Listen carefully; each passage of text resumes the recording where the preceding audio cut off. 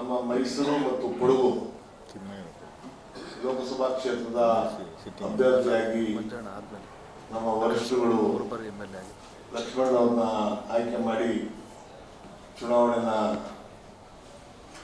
ಮಾಡಬೇಕು ಅಂತ ನಮ್ಗೆಲ್ಲರಿಗೂ ಈಗಾಗಲೇ ನಿರ್ದೇಶನವನ್ನು ಕೊಟ್ಟಿದ್ದಾರೆ. ಇನ್ನು ಇಬ್ಬರು ಆಕಾಂಕ್ಷಿಗಳು ಪ್ರಬಲ ಆಕಾಂಕ್ಷಿಗಳಿದ್ರು.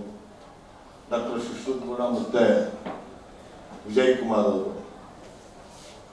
ಟಿಕೆಟ್ ಸಿಗೋವಾಗ ಎಲ್ಲರನ್ನೂ ಇದ್ರು ಈಗ ಎಲ್ಲರನ್ನೂ ಸಮಾಧಾನವಾಗಿ ಮೂರು ಜನನು ಒಟ್ಟಿಗೆ ಚುನಾವಣೆನ ಎದುರಿಸಬೇಕು ಅಂತ ತೀರ್ಮಾನವನ್ನು ವರಿಷ್ಠ ಮುಂದೆ ಮಾಡಿ ಅವ್ರಿಗೂ ಮುಂದಿನ ದಿನಗಳಲ್ಲಿ ಬೇರೆ ಬೇರೆ ಅವಕಾಶವನ್ನ ಕೊಡುವಂತ ಕೆಲಸನ ನಮ್ಮ ವರಿಷ್ಠರು ಮಾಡ್ತಾರೆ ಅಂತ ಹೇಳ್ತಾ, ಇವತ್ತು ಈ ಚುನಾವಣೆಗೆ ನಾವೆಲ್ಲರೂ ಸಜ್ಜಾಗಿದ್ದೀವಿ. ಚುನಾವಣೆನ ಸಮರ್ಪಕವಾಗಿ ನಾವು ಗೆಲ್ತೀವಿ. ನಮ್ಮ ಮೈಸೂರು ಕೊಡಗು ಲೋಕಸಭಾ ಕ್ಷೇತ್ರದಲ್ಲಿ ಐದು ಜನ ಶಾಸಕರು ಎಂಟು ಜನ ಶಾಸಕರಲ್ಲಿ ಐದು ಜನ ಶಾಸಕರು ನಮ್ಮ ಪಕ್ಷದವರಿದ್ದೀವಿ ನಾವು. ಕೊಡಗು ಮತ್ತು ವಿರಾಜಪೇಟೆಯಲ್ಲಿ ಪೊನ್ನಣ ಮತ್ತು ಮಂತರಗೌಡರು ಅದೇ ರೀತಿ ಮೈಸೂರು ಜಿಲ್ಲೆಯಲ್ಲಿ ವೆಂಕಟೇಶ್ವರ ಅವರು ತನ್ನೀರ್ ಸೇಠ್ ಸಾಹೇಬರು ಮತ್ತೆ ನಾನು.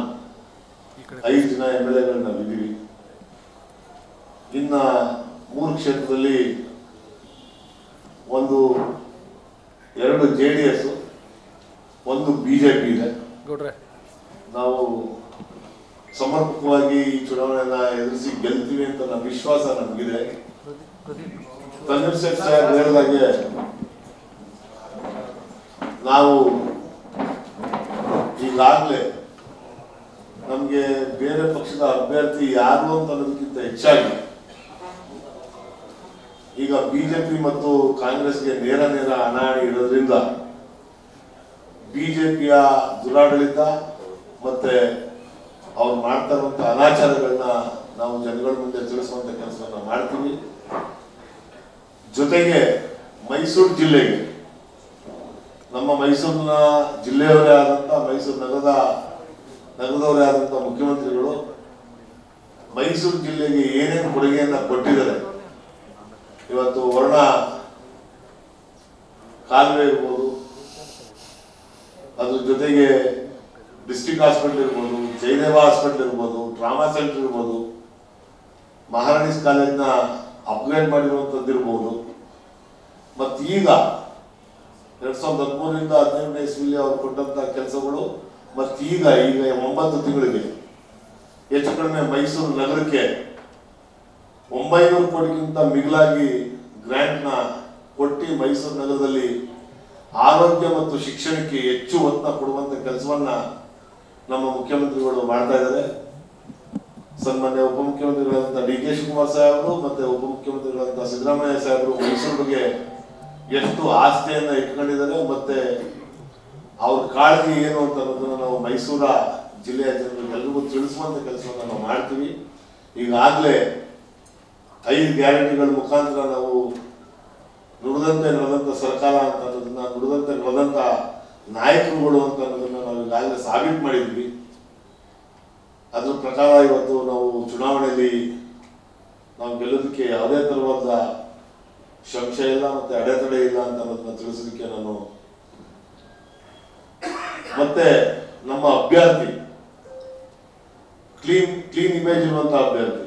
ಯಾವುದೇ ತರವಾದಂತಹ ಹಗರಣದಲ್ಲಾಗ್ಲಿ, ಇಲ್ಲ ಯಾವುದೇ ತರವಾದಂತಹ ವಿಚಾರದಲ್ಲಿ ಅವರು ಇವತ್ತರ್ಗ ಕಾಂಟ್ರವರ್ಸಿಗೆ ಸಿಗಾಕೊಂಡಿಲ್ಲ. ಒಬ್ಬ ನಮ್ಮ ಚಂದ್ರಶೇಖರ್ ಸಾಹೇಬ್ ಹೇಳಿದಂಗೆ ಒಬ್ಬ ಸಾಮಾನ್ಯ ಕಾರ್ಯಕರ್ತನ ನಮ್ಮ ಪಕ್ಷ ಅಭ್ಯರ್ಥಿಯಾಗಿ ಇವತ್ತು ಆಯ್ಕೆ ಮಾಡಿದೆ. ಅವ್ರನ್ನ ಗೆಲ್ಸ ನಿಟ್ಟಲ್ಲಿ ನಾವೆಲ್ಲರೂ ಪ್ರಯತ್ನ ಮಾಡ್ತೀವಿ. ಅವರು ಭಾರತೀಯ ಜನತಾ ಪಕ್ಷದವರು ಮೋದಿಯವರ ಹೆಸರನ್ನ ಹೇಳ್ಕೊಂಡು ಮತ ಕೇಳ್ತಾರೆ. ಅವ್ರ ಅಭ್ಯರ್ಥಿಗಳ ಹೆಸರನ್ನ ಹೇಳಿ ಮತ ಕೇಳೋದಿಲ್ಲ. ನಾವು ಅದೇ ರೀತಿ ಸಿದ್ದರಾಮಯ್ಯನವರ ಹೆಸರು ಹೇಳಿ ಮತ ಕೇಳುವಂತ ಕೆಲಸವನ್ನು ನಾವು ಮಾಡ್ತೀವಿ. ಡಿ ಕೆ ಶಿವಕುಮಾರ್ ಅವರ ಹೆಸರನ್ನ ಹೇಳಿ ನಾವು ಮತ ಕೇಳುವಂತ ಕೆಲಸವನ್ನ ನಾವು ಮಾಡ್ತೀವಿ. ಕಲ್ವೀರ್ ಸೇಠ್ ಸಾಹೇಬ್ರ ಹೆಸರನ್ನ ಕೇಳಿ- ನಾವು ಮತ ಕೇಳುವಂತ ಕೆಲಸವನ್ನು ನಾವು ಮಾಡ್ತೀವಿ. ಖರ್ಗೆ ಖರ್ಗೆ ಸಾಹೇಬರು? ಖರ್ಗೆ ಸಾಹೇಬರು. ಖರ್ಗೆ ಸಾಹೇಬ್ರು ಇವತ್ತು ನಮ್ಮ ಎ ಐ ಸಿ ಸಿ ಅಧ್ಯಕ್ಷರು, ಅವ್ರ ಹೆಸರನ್ನ ಹೇಳಿ ನಾವು ಮತವನ್ನ ಕೇಳುವಂತ ಕೆಲಸವನ್ನ ಮಾಡ್ತೀವಿ ನಾವು. ಕಾಂಗ್ರೆಸ್ ಪಕ್ಷದ ಇತಿಹಾಸ ತುಂಬಾ ದೊಡ್ಡದಿದೆ. ಮತ್ತೆ ಕಾಂಗ್ರೆಸ್ ಪಕ್ಷದಲ್ಲಿ ನಾನೊಬ್ಬ ವಕೀಲ ಸಮುದಾಯದನಾಗಿ ನಾನು ಹೇಳಬೇಕು ಅಂತ ಅಂದ್ರೆ, ಕಾಂಗ್ರೆಸ್ ಪಕ್ಷದಲ್ಲಿ ವಕೀಲರಿಗೆ ಜಾಸ್ತಿ ಮನ್ನಣೆ ಕೊಡಲ್ಲ ಅಂತ ಅನ್ನೋದನ್ನ ವಿರೋಧ ಪಕ್ಷದವರು ಉಂಟಾಗ್ತದೆ ಇವತ್ತು ಏನು ಆ ಪಕ್ಷದವರು ಹುಟ್ಟಾಗ್ತಾ ಇದ್ರು ಆ ಪಕ್ಷದಲ್ಲೇನೆ ಒಕ್ಕಲಿಗರಿಗೆ ಅತಿ ಹೆಚ್ಚು ಅನ್ಯಾಯ ಆಯ್ತಾ ಅಂತ ಅನ್ನೋದನ್ನ ಜಗತ್ ಜಾಹೀರಾಗಿದೆ. ಅದನ್ನು ತಾವೆಲ್ಲ ಅರ್ಥ ಮಾಡ್ಕೊಳ್ಬೇಕು. ನಮ್ಮ ಸಮುದಾಯದ ಜನ ಇದನ್ನ ಕೂಲಂಕುಷವಾಗಿ ವಿಚಾರವನ್ನ ಮಾಡಬೇಕು. ಕಾಂಗ್ರೆಸ್ ಪಕ್ಷದಲ್ಲಿ ನಾನೊಬ್ಬ ಒಕ್ಕಲಿಗ ಸಮಾಜ ಸಮಾಜದವನ್ನ ನನ್ನನ್ನ ಶಾಸಕನಾಗಿ ಮಾಡೋದಕ್ಕೆ ಅವಕಾಶ ಮಾಡಿಕೊಂಡಿದೆ ಇವತ್ತು ಎಂ ಪಿ ಕ್ಯಾಂಡಿಡೇಟ್ನ ಒಕ್ಕಲಿಗ ಸಮಾಜದ ತುಳಸಿದಾಸ್ ದಾಸಪ್ಪನವ್ರು ಆದ ನಂತರ ನಲವತ್ತೇಳು ವರ್ಷಗಳ ನಂತರ ಇವತ್ತು ಒಕ್ಕಲಿಗ ಸಮಾಜಕ್ಕೆ ಅವಕಾಶ ಮಾಡಿಕೊಟ್ಟಿದೆ ಕಾಂಗ್ರೆಸ್ ಪಕ್ಷ. ಲಕ್ಷ್ಮಣ ಅವರು ಒಕ್ಕಲಿಗ ಸಮುದಾಯಕ್ಕೆ ಸೇರಿದವರು. ಇದನ್ನ ಯಾರು ಒಕ್ಕಲಿಗ ಸಮುದಾಯವನ್ನ ಒಡೆಯಬೇಕು ಮತ್ತೆ ಒಕ್ಕಲಿಗ ಸಮುದಾಯದ ಮನಸ್ಸನ್ನ ಕೆಡಿಸ್ಬೇಕು ಅಂತ ಮಾಡ್ತಾ ಇದ್ದಾರೆ. ಅವ್ರಿಗೆ ಮನವರಿಕೆ ಮಾಡಿಕೊಡುವಂತ ವಿಚಾರವನ್ನ ನಮ್ಮ ಒಕ್ಕಲಿಗರು ಎಚ್ಚೆತ್ಕೊಳ್ಬೇಕು ನಮ್ಮ ಸಮುದಾಯ ಒಗ್ಗಟ್ಟಾಗಿ ಇರಬೇಕು. ಸನ್ಮಾನ್ಯ ಡಿ ಕೆ ಶಿವಕುಮಾರ್ ಸಾಹೇಬರು ಕೃಷ್ಣ ಬೈರೇಗೌಡರು ಸಾಹೇಬರು, ವೆಂಕಟೇಶನ್ ಅವರು ನಮ್ಮ ಮೈಸೂರು ಜಿಲ್ಲೆಯಲ್ಲಿ ವೆಂಕಟೇಶನ್ ಅವರು ಅವರು ಒಕ್ಕಲಿಗ ಸಮುದಾಯದವರು. ಅವರ ಚಾಮರಾಜನಗರದ ಉಸ್ತುವಾರಿ ಸಚಿವರನ್ನಾಗಿ ಮಾಡಿ ಪಶುಸಂಗೋಪನಾ ಮತ್ತು ರೇಷ್ಮೆ ಇಲಾಖೆಯ ಸಚಿವರನ್ನಾಗಿ ಆಯ್ಕೆ ಮಾಡಿದೆ. ಚಲುವರಾಯ ಸ್ವಾಮಿ ಅವರು ನಮ್ಮ ಮಂಡ್ಯ ಉಸ್ತುವಾರಿ ಸಚಿವರು ಮತ್ತೆ ಕೃಷಿ ಸಚಿವರು ಈ ತರ ನಮ್ಮ ಒಕ್ಕಲಿಗ ಸಮುದಾಯಕ್ಕೆ ಕಾಂಗ್ರೆಸ್ ಪಕ್ಷದಲ್ಲೇ ಆದಂತ ಪ್ರಾತಿನಿಧ್ಯವನ್ನ ಕೊಡುವಂತ ಕೆಲಸವನ್ನ ಕಾಂಗ್ರೆಸ್ ಪಕ್ಷ ಮಾಡ್ತಾ ಇದೆ. ಇದನ್ನ ಅರ್ಥ ಮಾಡ್ಕೊಳ್ಬೇಕು. ಯಾರು ಮೇಲ್ವರ್ಗದ ಸಮುದಾಯ ಐತೆ ಆ ಸಮುದಾಯಕ್ಕೆ ಅನ್ಯಾಯ ಆಗುತ್ತೆ ಅನ್ಯಾಯ ಮಾಡ್ತದೆ ಕಾಂಗ್ರೆಸ್ ಅಂತ ಹೇಳ್ತಾರೆ ಅದು ಸುತ್ತ ಸುಳ್ಳು. ಇವೆಲ್ಲವನ್ನೂ ಪರಿಗಣಿಸಿ ಮೇಲ್ವರ್ಗದ ಸಮುದಾಯದವ್ರನ್ನು ಚಿಂತನೆ ಮಾಡಬೇಕು ಅಂತ ನಾನು ಈ ಸಂವಾದದ ಮುಖಾಂತರ ನಾನು ಬೇಡ್ಕೊಂತೀನಿ.